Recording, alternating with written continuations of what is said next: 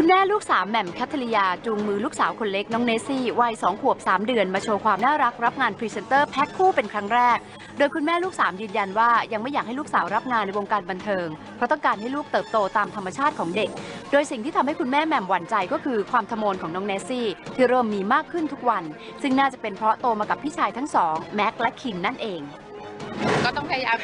ให้อยู่กับคุณยายเยอะ ๆ จะได้ฝึก มารยาทฝึกความเรียบร้อยฝึกความเป็นหญิงไทยหน่อยยอมรับว่ากังวลนะ แต่ว่าพอดูดูๆไปแล้วเนี่ยก็ก็ชอบนะสีชมพูที่ชอบสีชมพูที่ชอบทาปากที่อยากแต่งหน้าก็โอเค